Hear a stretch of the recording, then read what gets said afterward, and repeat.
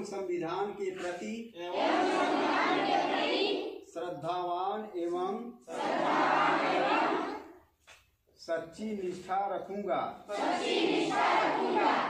जो विधि द्वारा स्थापित है तथा भारत की सार्वभौमिकता तथा सत्यनिष्ठा रखूँगा। जो विधि द्वारा स्थापित है तथा भारत के सार्वभौमिक तथा भारत की सार्वभौमिक तथा अपने विद्यालय के कार्य अपने विद्यालय के कार्य निष्ठा पूर्वक ईमानदारी से निष्ठा पूर्वक ईमानदारी से बिना भेदभाव का करूँगा। बिना भेदभाव